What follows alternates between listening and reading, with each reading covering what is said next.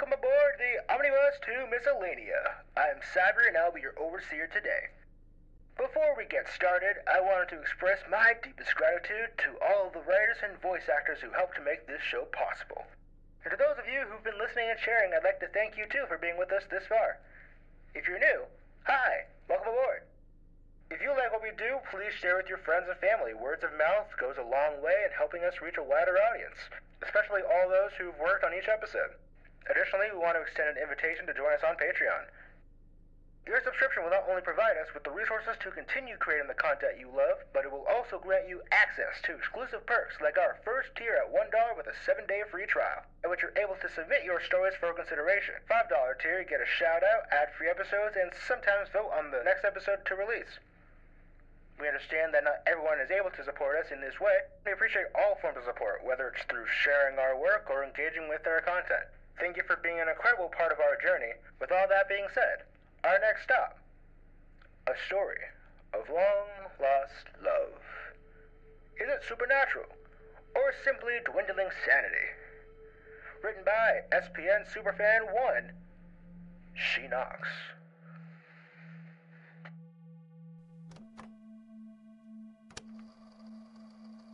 I've been a detective for a long, long time. Probably longer than some of you have been alive.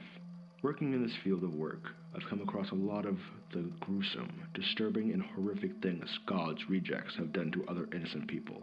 But in this case, I've never seen anything like it. I'm honestly at my wits' end here and don't know what to believe anymore, so I've turned here. I'm sure many of you are experts when it comes to this stuff, so I want your honest opinions on this one. For some context, a young woman, five foot three, blonde hair, blue eyes, was brought into the station disheveled and covered in blood and dust. Officers had picked her up after some neighbors called with some noise complaints. When they entered the residence, she was crouched on the ground next to the dead body of her fiance, writing in a journal. A bloody hammer laid on the ground next to her. Standard murder case, you crime junkies might be thinking. But it is so much more than that. And if my sergeant ever found out I stole police evidence and posted it to social media, I'd lose my job immediately. After taking this case, though, I couldn't care less. I'm getting up there in age anyway, and this old fart would rather like to retire after this particular case. Anyway, I'll just let the evidence tell you. Below are entries from a leather bound journal that was collected from the scene of the crime. The one the woman was writing in, it seems it was being used as some sort of diary slash dream journal.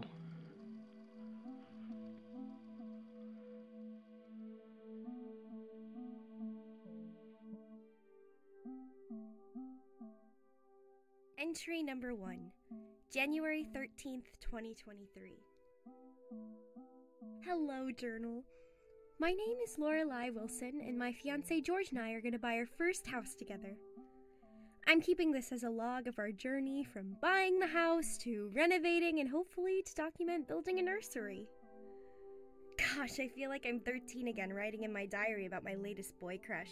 Spoiler alert, it's George. Honey, if you ever read this, I love you and I can't wait to take the next steps with you.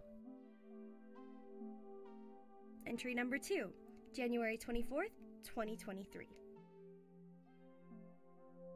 I'm happy to announce that after almost two weeks of looking on houses on Zillow and going to a few open houses and some other house tours, I think we finally found the one. 8374 Maplewood Drive only for 13,000.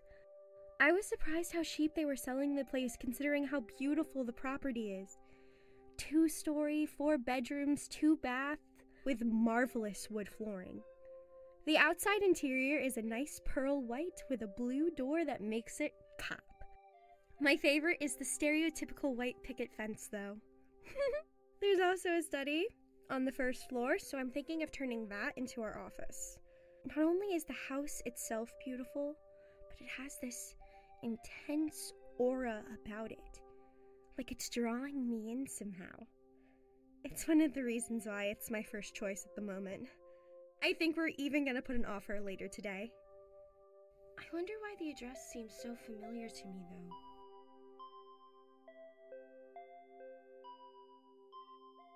Entry number three, January 31st, 2023.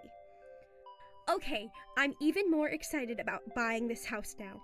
Not only did our offer get accepted, but after I did some research, I figured out why the house's address seems so familiar to me.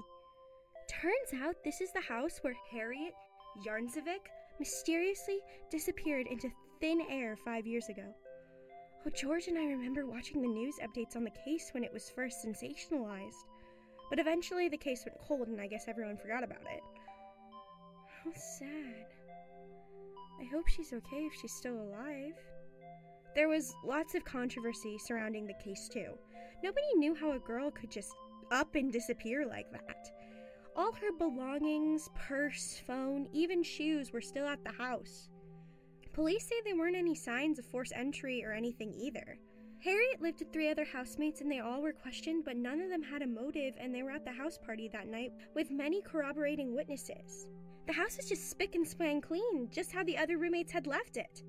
This case is so interesting. I might update my true crime blog and document living in this house. Lord knows I've been neglecting updating it. I've always loved things like this, and Nancy Drew was my role model as a little girl.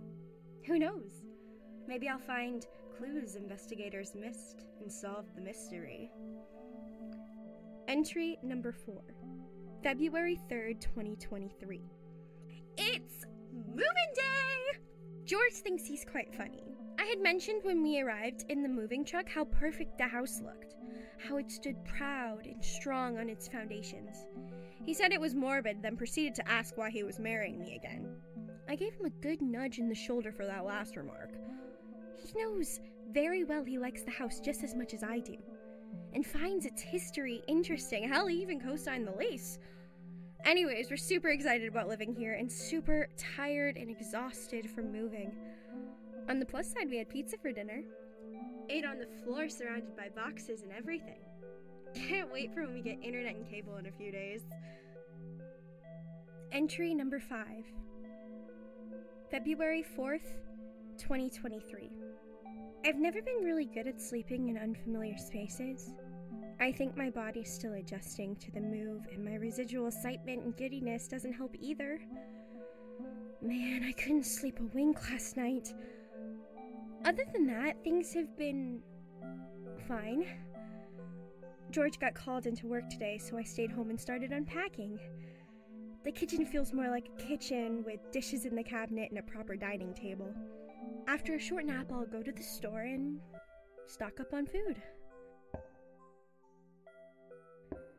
Entry number 6, February 6th, 2023. George is mad at me. I might have snapped at him a little about the placement of the TV in the living room earlier. I get cranky when I'm tired, and I haven't been sleeping the best at night. But it's okay because I'm mad at George, too. The other night I could have sworn I heard someone knocking. I couldn't pinpoint the location where it was coming from, but the small, quiet, and repetitive knocks were there. I'm a light sleeper, so I wasn't able to go back to sleep until the knocking ended around 4 in the morning.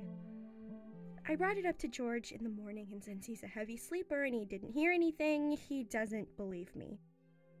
Anyways, I finished setting up the study this morning. I saw a picture of Harriet and her roommate stuck between some bookshelves, so that was a cool find. She looked happy. There was a draft coming from somewhere in there, though. I'll have to fix it and put that on my to do list. Entry number 7, February 9th, 2023. Taking some advice from my friend Chelsea, I'm gonna start dream journaling. And this just so happens to be the only available journal I had. I'm too tired to drive to the store and get another one. I've been able to get more sleep than I've had in the past few days, but not too much more.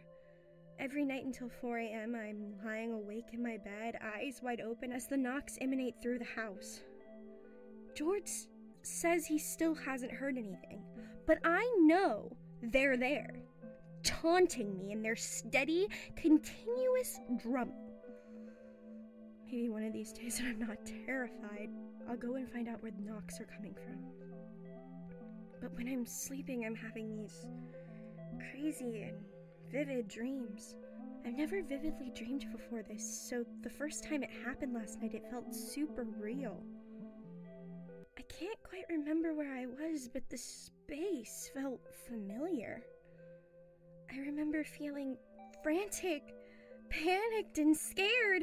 I had locked myself away somewhere, but I knew danger was right around the corner. Then all of a sudden, this giant shadowy silhouette appeared and it lunged at me with a weapon. I think it was a hammer, but I, am not sure. When it made contact with my head, I woke up and I was covered in sweat and dazed. George woke up and comforted me when he saw the state I was in. I was a little less mad at him after that. Maybe these dreams are caused by my sleep exhaustion. If I'm not going to be getting much sleep, I might as well do something with that time. I've gone into a rabbit hole with the Yarncevic case, doing research for my blog. So Harriet had three other roommates Joanne Harris, her brother David Harris, and another guy named Antonio Frum. Joanne and Antonio were an item, and Harriet knew them all because she was Joanne's good friend from college. A bunch of interviews from people that knew Harriet suspected that she and David were romantically involved and claimed David was responsible for her disappearance. According to police, though, his alibi checked out and there was no way he could have been there. There isn't an estimated time of disappearance either. She really just vanished out of thin air. Since there is no other information about the case available online, I turned to social media. At some point, I had fallen asleep while scrolling, and I had the same vivid dream from the other night. This time it was more intense. I could feel the hatred and the anger coming off the shadow figure. It was angry, determined, desperate. I could make out my surroundings now, and I realized why it was so familiar. It was the study.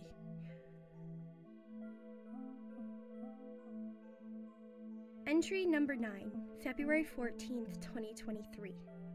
The stream was different from the other one that's been playing on repeat the past few nights. Was like a movie. I think I've been digging too much into this case because it's affecting my mind. In the dream, I was Harriet. I was at a house party just chilling along with Jo, and then her brother David entered the room. I think it was the first time I had seen him because it felt like my heart started racing and he looked cute but unfamiliar. He was charming, funny, knew had to make me laugh. I had an overall good time. The dream ended after he handed me a red solo cup full of some liquor. After I woke up, I started digging through my notes. Surely enough, Jo and Harriet had met at a house party, but I didn't find anything about David being there. Oh, shit. I forgot it was Valentine's Day. George came home pissed while I was researching.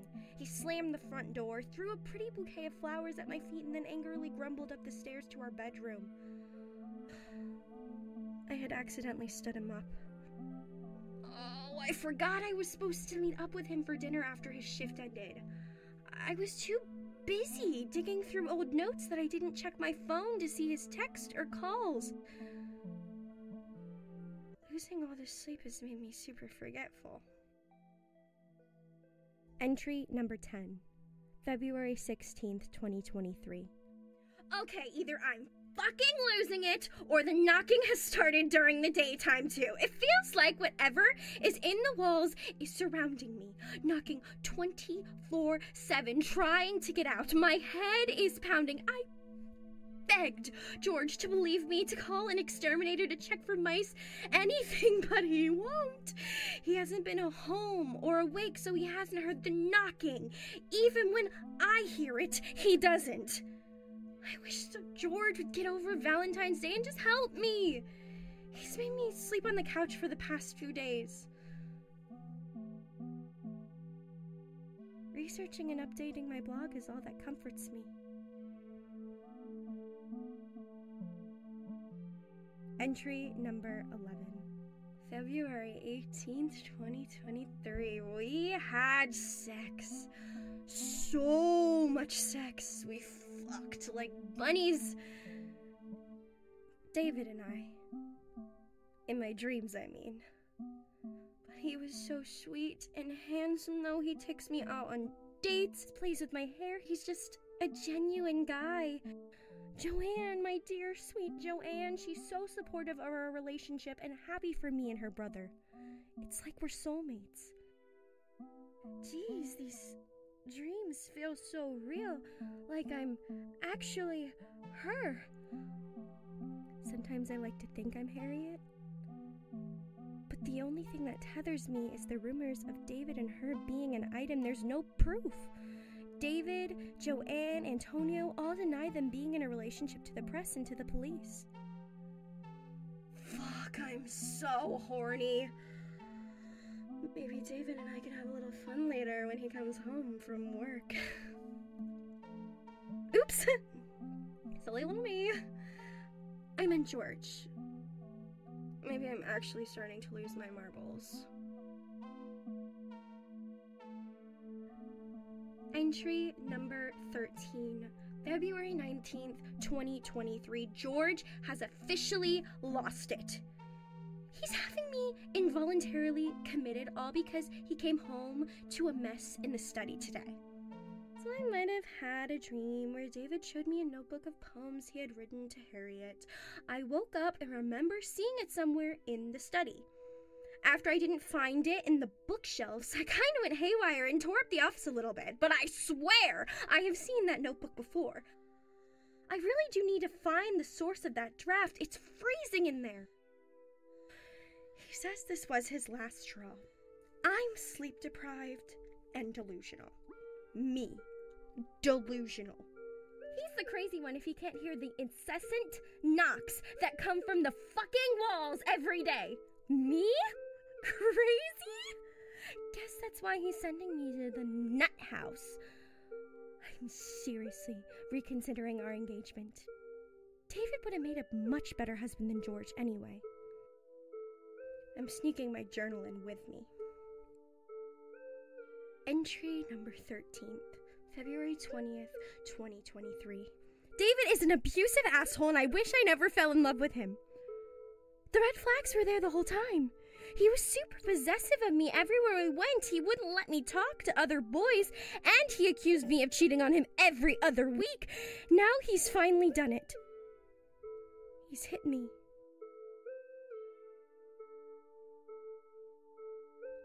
I've turned into his personal punching bag these past few days. I'm scared and terrified of setting him off again, and Jo, she just stands by and lets it happen. Begged her to help me, but she won't, claiming that he's her brother and she'd never do anything to ruin his reputation. Some fucking friend. I started looking for other places to live. I'm gonna do it. I'm gonna leave David once and for all. Entry number 14th, February 21st, 2023. I've been released from my 72 hour hold. They haven't found anything wrong with me. I just slept for most of the time. I feel much better now. My head isn't spinning anymore and I'm not tired. I think I slept for a good 20 ish hours in there. George is so happy to see me and I him. We had a nice long hug when he came to pick me up. I think things are gonna get better from here on out.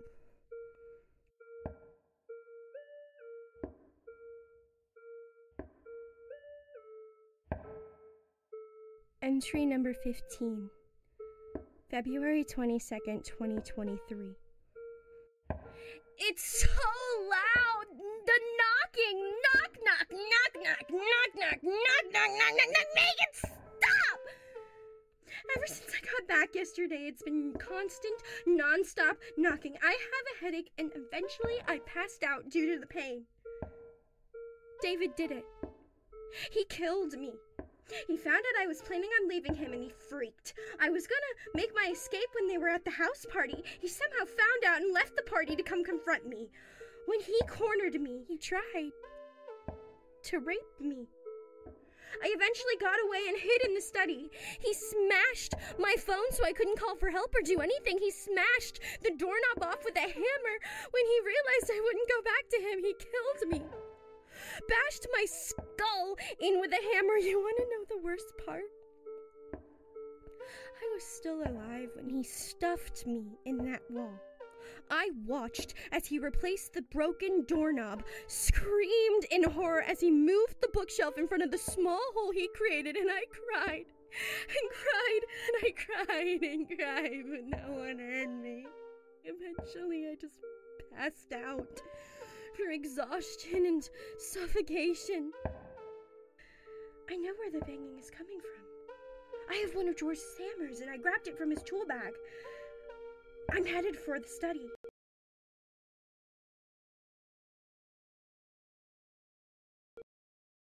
Loudest in the study, and I'm just so over it.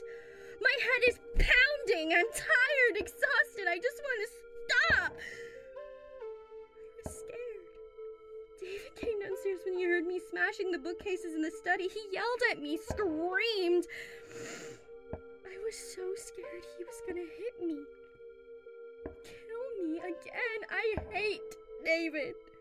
I hate him with a burning passion. Everything was crescendoing around me. The knocking was so loud, it felt like my brain was trying to explode. David was screaming in my ear, grabbing me, trying to hurt me. I just wanted everything to stop. I wanted him to stop hurting me. I hit him in the head with my hammer. Then I hit him again and again until his brains turned to mush, and I just had to laugh. finally got revenge on David. Did what that fucker did to me. He's quiet now. Quiet is good. And then I went back to hitting the wall with every hit. The knocking diminished. Finally, it was quiet when the bookshelf was destroyed. It was peaceful. There was a small hole in the wall that was hidden behind the bookshelf I found her. Found Harriet. There's flashing red and blue lights outside. Good. They'll be able to help.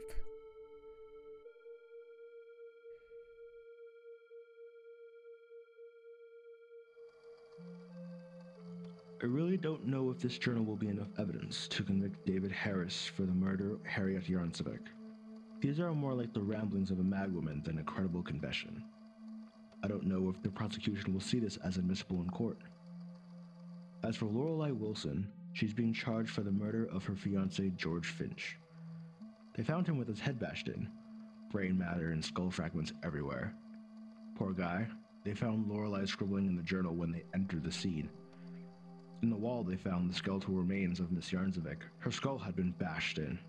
It appears her assailant killed her, moved the bookshelf, and created a makeshift grave in the wall where they stuffed her body and moved the bookshelf back. I have no clue how investigators didn't smell the decomposition or notice that the bookshelf had been moved, but the tenants quickly moved out after the girl's disappearance, and the house has left vacant for five years. Nobody complained of a rotting smell in that time. Again, I really don't know what to believe here. It seems like Miss Yarncevic's ghost haunted Miss Wilson and drove her insane until she discovered her remains. But that's crazy, right? Ghosts don't exist. Anyway, I better finish up here. It seems like someone is knocking at my door.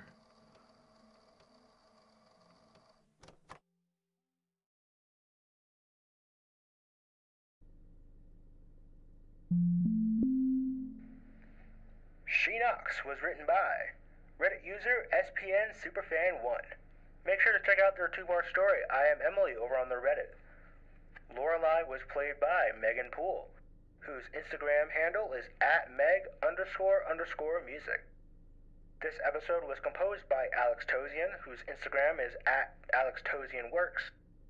The editor was Cy Nelson, who can be found on Reddit at Cy underscore Psyclone or on Instagram at cyber underscore psyclone. The producers for this episode were Cy Nelson and Teddy B. B. Bear. whose Instagram is TDY underscore BBBear. All links and credits can be found in the description. As for our bus, you can always find a stop on the corner between somewhere and nowhere. Next episode releases March 11th. Thanks for listening. Stay safe, stay cozy. We hope to see you soon.